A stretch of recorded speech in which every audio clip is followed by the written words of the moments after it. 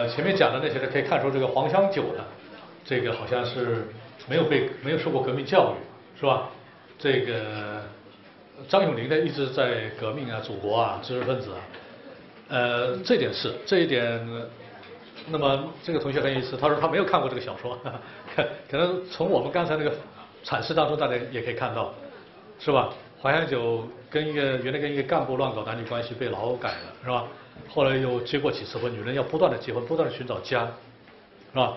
那么然后呢，他对张永林的判断，也不管他是革命还是不革命，还是考虑他身体行和不行，是吧？身体行就是好男人，他就甘拜下风，是吧？身体不行，他就欺负他，是吧？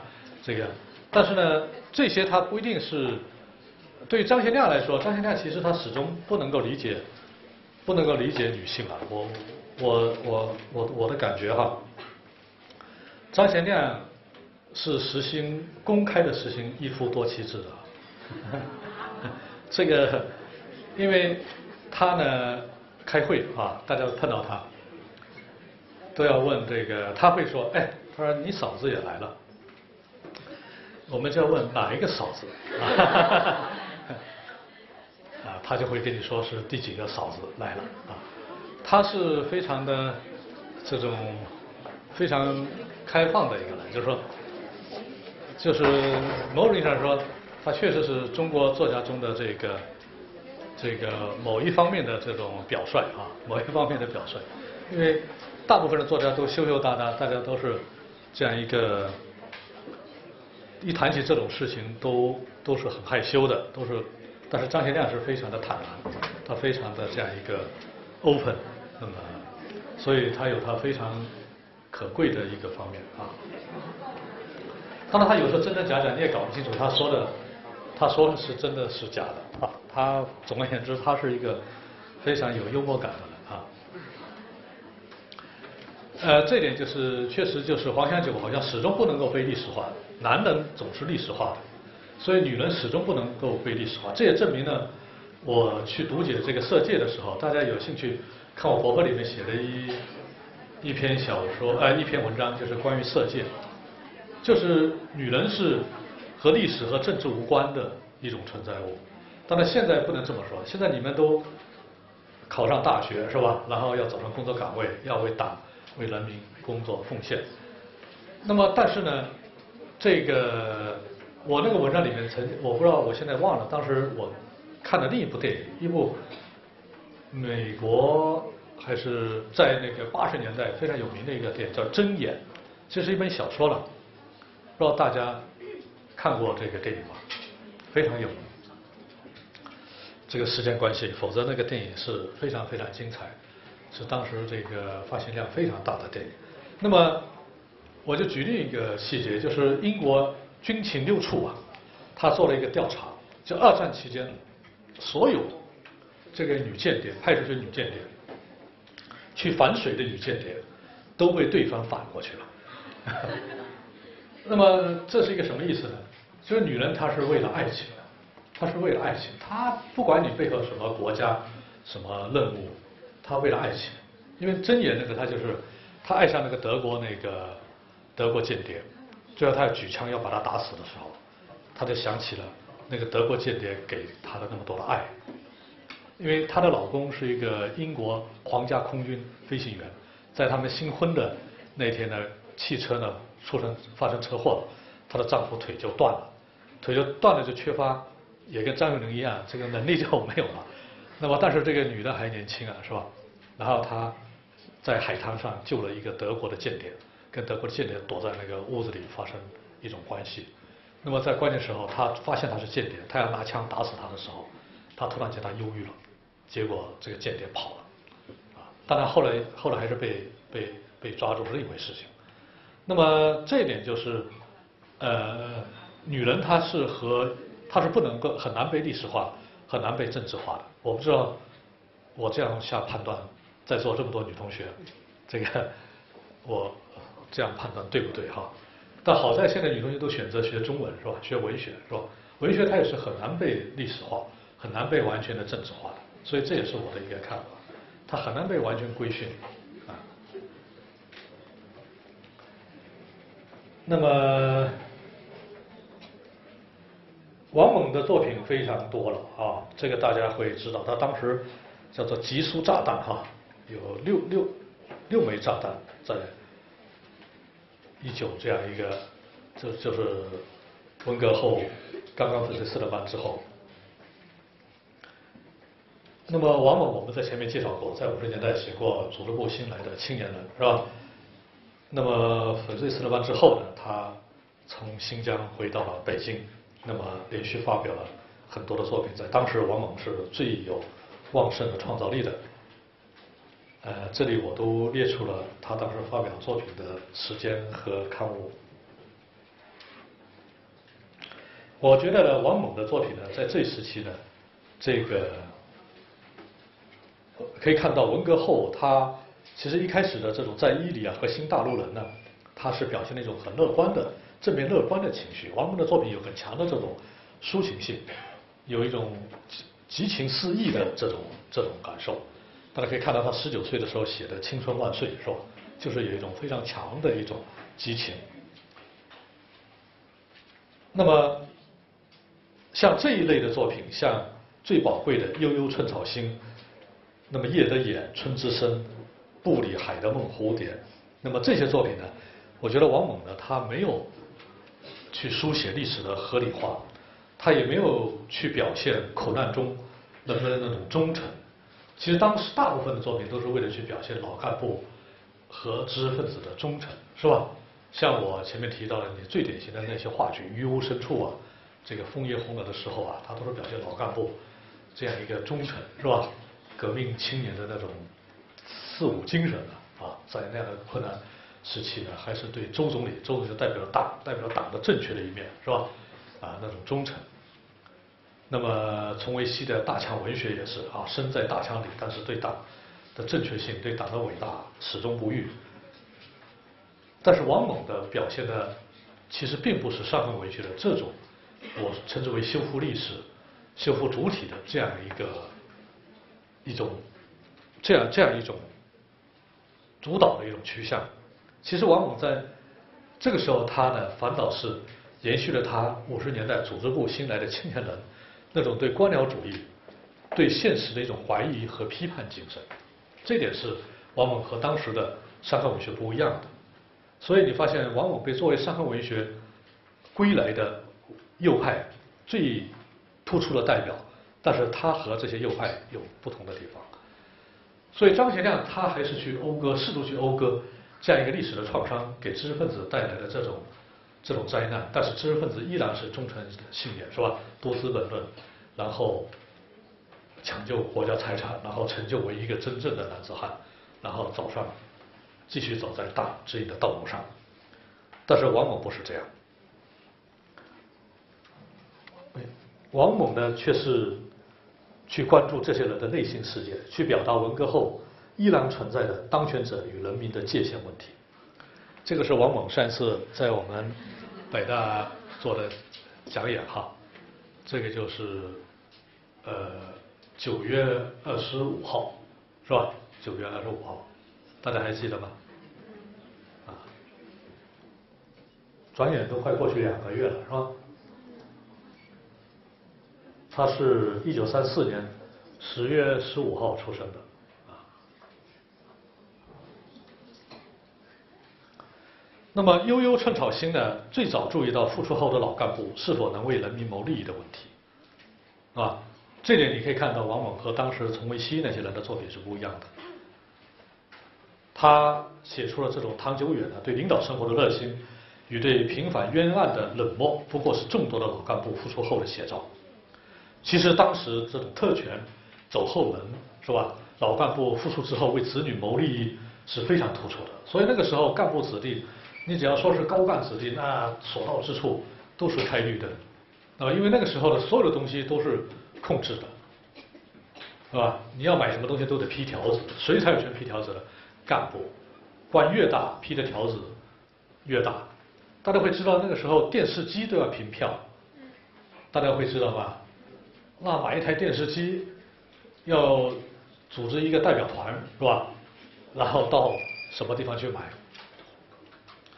然后这个做一个非常重要的，要给电视机呢做一个那个木木木柜子是吧？放在放在那里面，然后有专门保管，用锁锁起来，啊，每天晚上到了一定的时间开起来让大家看一下，啊，那么谁能够批条子呢？就是这些老干部，是吧？那么当时这种特权是非常严重的，所以王猛对官僚主义采取怀疑的态度，对那些革命年代的人们被政治愚弄的失智，他也看得相当清楚。谬误不是某些人造成的，而是在历史事件表象掩盖下的人的本性。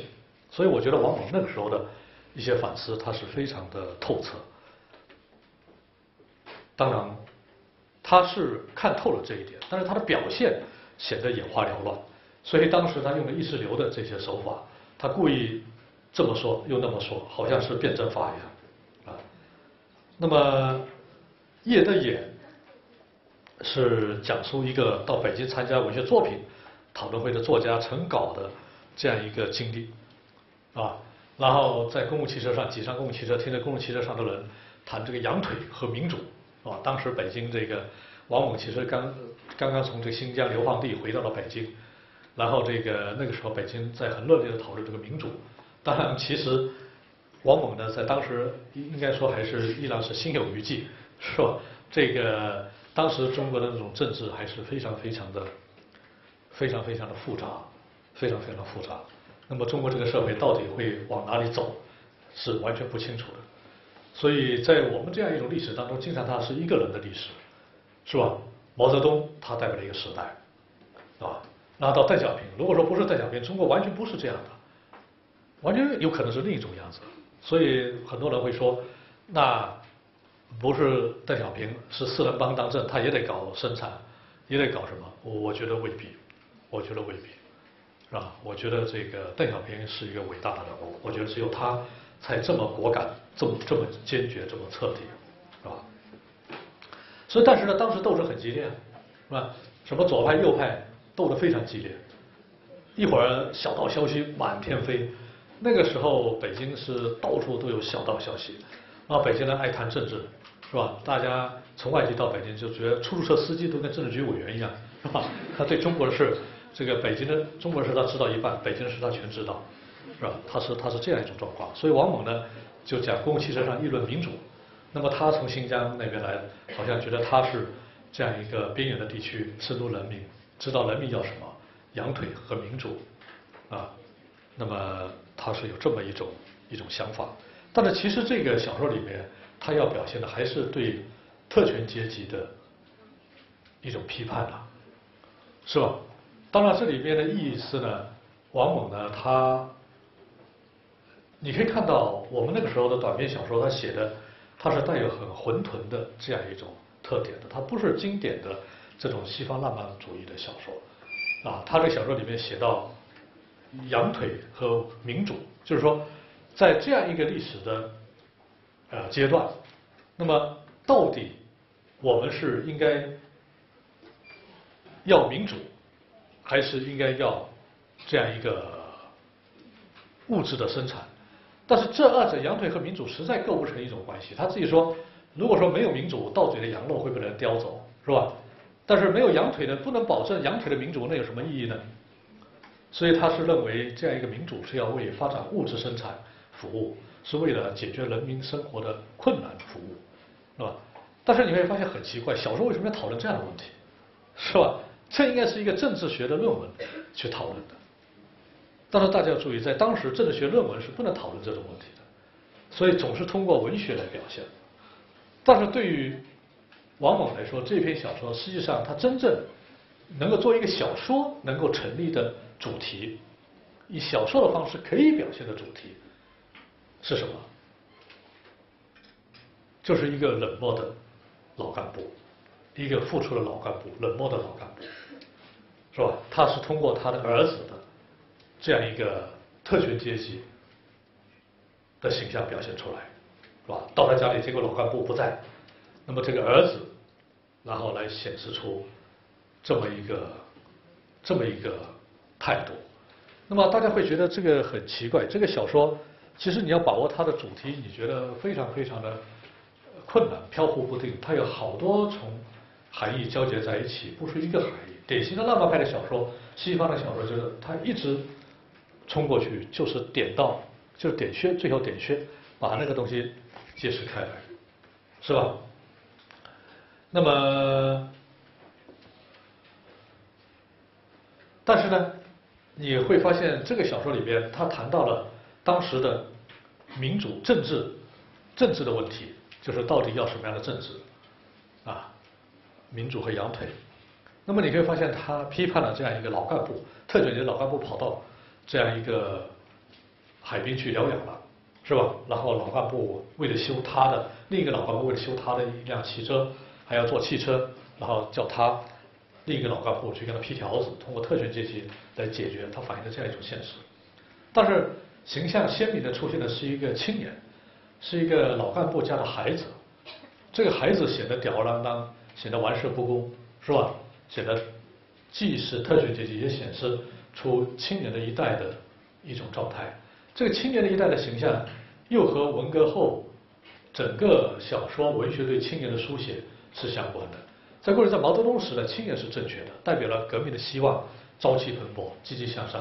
但在粉碎四人帮之后，这个青年形象都很糟，是吧？要么是被四人帮毒害，要么就四人帮的替身。所以那个时候叫三种人呐，都是打砸抢。红卫兵，那么这个形象都是受到质疑的，所以这些归来的右派，他对年轻一代是不信任的，所以他把年轻一代都是写成那么这样一种。当然，我们不能说他这就是年轻一代的代表。他从王某的这个小说里面显现出来的这种年轻的一代，他们是没有责任的，是吧？他们是寄生虫式的生活，看见他的屋里被子也没抖，是吧？然后还放着音乐。是吧？然后从床铺上刚刚爬起来，是吧？不知道搞什么鬼名堂，是吧？还开舞会等等，啊，堕落的，这么糜烂的资产阶级的生活，在这种特权阶级所表现出来的。当然，其实这篇小说整个说起来，是表现了一个作家的一种困惑，夜瞪眼，是吧？就在那样一个时期，如果说我们要去讨论这篇小说的话，确实在那样一个时期，可能四八时期，呃之后，那么。一个非常混沌的、复杂的、错乱的、没有方向的中国的一种现实。那么在这个意义上，这个小说又是非常令人惊叹的，是吧？他在一篇短篇小说里面，他是以这种方式来表现了一个中国的那种迷茫、政治方向的一种不明朗，啊，那么社会价值的一种混乱和倒错，啊，那么然后。旧有的这种利益关系的利益集团的他们的一种存在和死灰复燃，那么所以这一切呢，都是被称之为革命的这样一种遗产，革命的这样一种呃理念，它是以什么方式来存在？所以如果来看王蒙的那么整体的小说，我觉得有一个很深的。隐藏的很深的主题，也是王蒙自己不一定说他很明确的在坚持的。我觉得只有去解决王蒙头脑中的少共情节，我觉得他的小说很多东西才能够解开。少共啊，少年共产党啊，少共啊，是吧？少共，他是十三岁，那么十四岁入党，是吧？这个十七岁就当团委副书记。是吧？所以他是这么一个少共，那么青春的献给革命的，大家看他的这个呃这个青春万岁啊。后来他写了很多了《季节之旅》，那么很多的那种作品。Thank you.